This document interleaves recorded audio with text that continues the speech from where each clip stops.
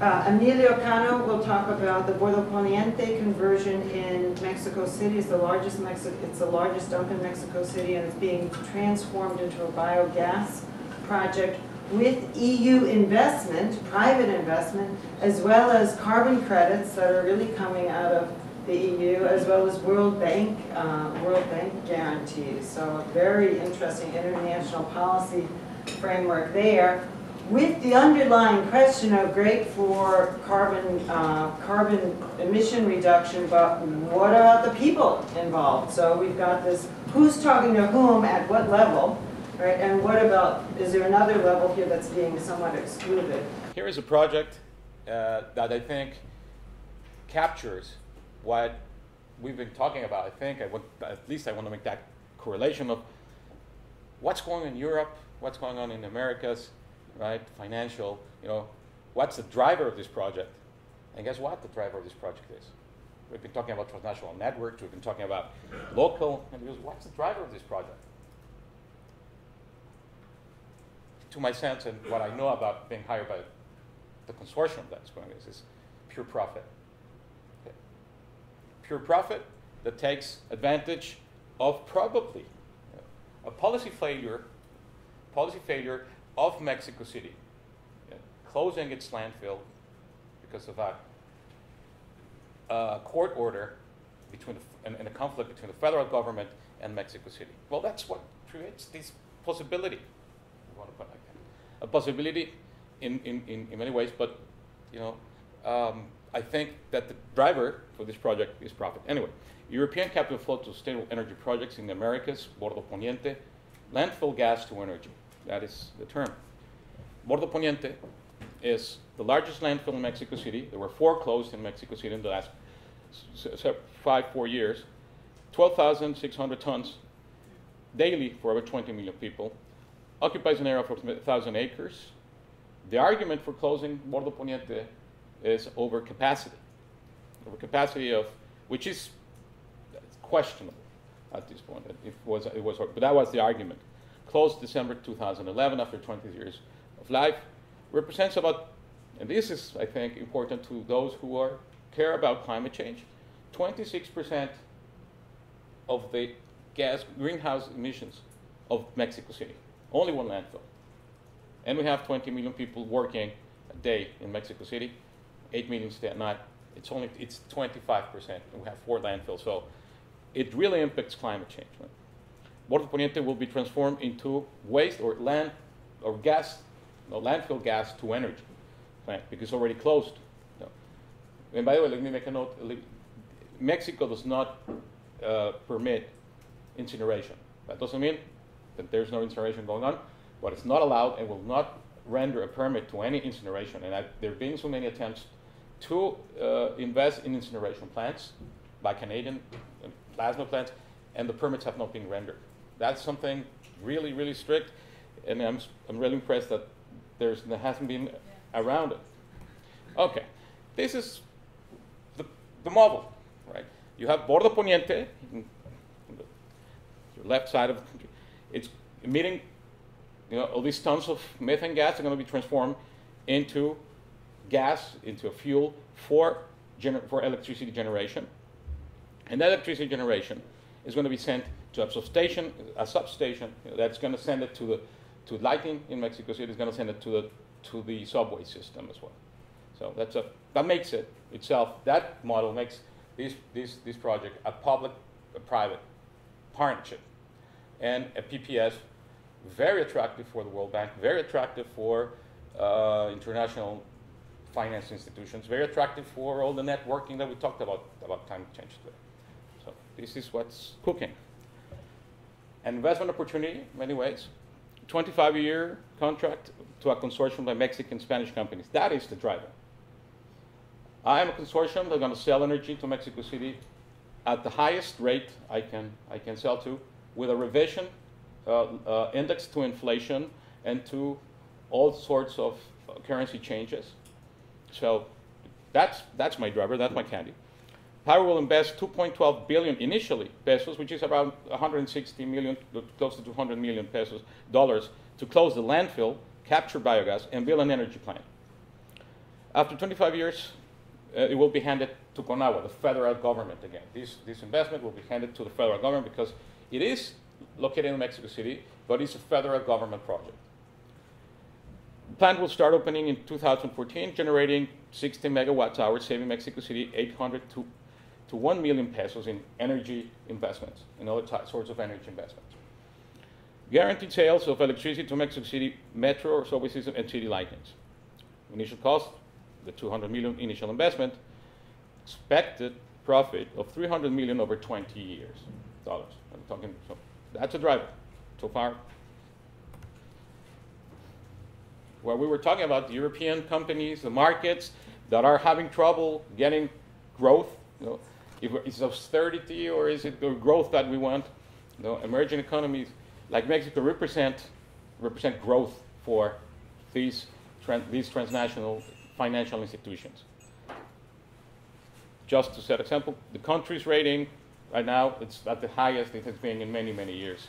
Economic and political stability, comprehensive legal system, demographic bonus, incentives, profitability, rec- recognition to invest in a project like this. We talked about it this morning. You know, they're recognized by many NGOs. Uh, C40, Mexico City is part of the C40. And uh, the World Bank wants to funnel funds to these type of initiatives, right? Bye, everyone. Thank you. Thank you. Bye. So it's growth, okay? Well, everything looks good. Everything fantastic. Yeah. Profit driver, okay? It really appeals to the European and Mexican transnational policy interests. Okay. But, um, well, in addition to private investment, governments and banks, Spain, Germany are involved in Bordo Poniente. The governmental bank of Germany, the KfW, and its arm, DEG, are wanting to invest funds. I just, yesterday, um, Aitor was asking, what is the German, what the, bar, the assets of the German companies doing? Well, they're investing a lot in the Americas. Germany is a very active investor into the Americas, and particularly in these projects. Climate change, waste to energy, or, la- or landfill gas energy meets Europeans' interest and Kyoto commitments. Estimates of 1.8 million reduction of carbon dioxide emissions, translating to 60 million carbon credits sold to you under the clean development mechanism. Well, I'm not so sure. Probably the voluntary markets, which we also talked about. Voluntary markets in Europe, in the United States, Australia, probably, depending on. I mean, this is a, a venture, so you will sell these these these bonuses depending on the price and who, who who's the best, who's the best who's the best bidder for for your for your certificate certificates of emissions reduction. Here is an analysis at current prices under the voluntary market. If on the, the, the next nine years, the, the, the project will be able to sell 20 million, close to 22 million certificates of emission reductions, standing for meaning around 54 million dollars, 55 million dollars, so to speak, at the lowest price that, the, that, that, that these certificates have been. We've seen $18, $25, right? If you, if you can estimate that jump in the price, because this, I think we have hit the bottom, um, well, you can imagine how much money the project will get from selling its, its certificate of emission reductions. Okay, well, this is a challenge for yours truly here, because as I said, the drivers for the driver is being a policy failure and is being a, a profit maximizer consortium. But then we have the social element, right? And for fellows who are educated in and, and, and, and, and defend this concept, this notion of sustainable development, the economic, the environmental, and the social components as revenues for one project represents a challenge that I don't know how we're going to take. Because you have to sell this picture to the consortium and to the project if it, want to be, if it wants to be successful. Well, what you were talking about right now, the social, the social element, could be a factor that can stop this project if it's not tackled correctly. The environmental element as well can, can, can you can be closed by, by authorities if you don't perform environmentally, right? The economic, the economic project is already, in the case is already set.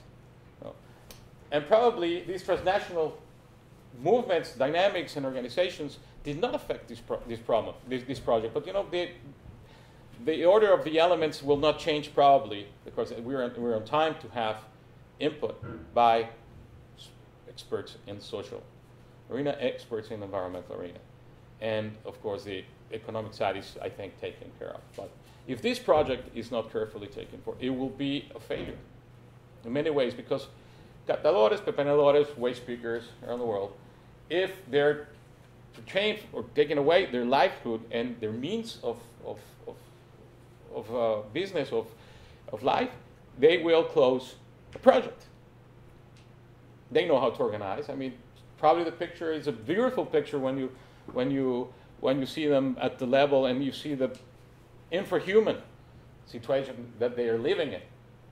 But when they come to negotiate with the government and with the companies, there's a fellow that comes in a bulletproof Mercedes Benz that's going to negotiate the project. There are layers of these folks working, and this is only one layer of them.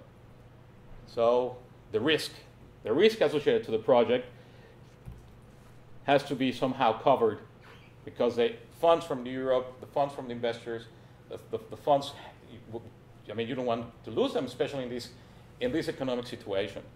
So here comes a multilateral, multilateral bank, the World Bank, with a, with a MIGA, the Multilateral Investment Guarantee Agency, that can help investors and leaders deal with these risks by ensuring eligible projects against losses relating to currency inconvertibility and transfer restriction, expropriation, war, terrorism, and civil disturbance, which is very likely that that could happen if this project doesn't look into the social realm of it. Immediately, if, if, if, if the pepenadores feel excluded from this, they're going to close this project. That is something we have told them. So, breach of contract. What happens if Mexico City doesn't pay the, the, the energy? That's what they're banking on. That's what they're investing on. Is it common that a government does, in, particularly in Latin America, doesn't pay um, or doesn't render its commitments for whatever reason? Yes, it is. Non-honoring or certain financial financial obligations. Okay, so you need to cover projects. You know, even the Mexico has high standing right now. It has it represents a lot of, of, of, of risk, and so it does going down to Americas. Many projects in Argentina were expropriated. Bolivia expropriated also a plant from Spaniards. So funds need to be very, very, very secured in order to have to make these things happen as well as the social arm. General environmental issues associated with Bordo Poniente. Even before it closed, leaks from landfill polluted nearby Rio Churubusco. It's a huge mess. Since Bordo Poniente closed, no adequate alternative has been set up. It's a mess. Now close to 15,000 tons a day that Mexico City generates have no legal, uh, regulated place to go. So it's being a mess. Bordering states are receiving the waste. They don't want to, but they're, Mexico City is paying um, $20 a ton. So somebody's making also another business out of this, this, this problem. An interim plan to take garbage to nearby plants fill apart immediately. Of course, now it's all illegal, probably, and we have a, an idea that some of this waste is going to cement plants near Mexico City, causing all these environmental effects and health effects to our population. Nearby landfills refuse to take trash from Mexico City. Well, if you have a, if you pay them, they will, or they are doing so already. The unsolved social problem, and this is where we need to talk to the financials and investors and the government. Members of the informal recycling sector, known as pepenadores, were not included in the decision-making process of, landfill closure. Pepenadores include 1,500 families whose livelihood relied on trash brought to Bordo Poniente. The ones, the same catadores, no, in Mexico, that Marta showed us. But this is not only the 1,500, this is the top, the bottom layer of the pepenadores because it starts when they pick up the garbage in Mexico City. That's the top layer. Well, the most one, the workers are that at the high levels, and then you have the ones that do negotiations with corporates and, and the business. Officials explicitly stated waste collectors will keep working in the landfill over the life of the new waste to energy plant or life or a landfill gas energy. So the project is inheriting the social situation, problem, or solution, if you want to call it. Who bears responsibility for social issues with this project? Well, the families, the 1,500 families, BMX bears no responsibility for past pollution, but must provide jobs, schools, health care for those who depend on Bordo Poniente. So here we have a chance to collaborate with Libby. Composting plant, there's a composting plant that needs that, that, that is that under contract is to go to Pepenadores uh, for their livelihood, for their means. Policy engagement. How much is planned by Mexican government? Role of EU policy participants. Okay, so now transnational um, networks should come along. Does the MIGA help to uh, or hurt on this front? Well, yeah. it protects it protects the investment, but and the investors, right, from the civil action. Who is protecting the social part of it? International policy partnerships, walking the talk. Can we develop more sustainable energy projects in the region? Well, this is an experiment. So I think Matt said today, they're experiments. Yes, they are experiments. This is a climate change experiment that definitely, for the help of, and is the largest landfill gas project in the world. Don't get me wrong, this is the largest landfill gas project that's going on in the world regarding climate change. We should all be, I think, interested, the ones that are dealing with, that this project is successful. Conclusion, closing Bordo Poniente is impacting negatively the environment in Pepenadores. Economic and environmental benefits are not sound when placed in the Mexican leg- legislative context. By buying carbon credits, the EU is hindering Mexico in moving toward a clean and sustainable waste management aimed at waste reduction. So, but the question is, how do you make these sustain- with these elements of risk, these elements, uh, these drivers? How do you make this a sustainable project and an icon for climate change um, reduction or emissions reduction? Thank you very much.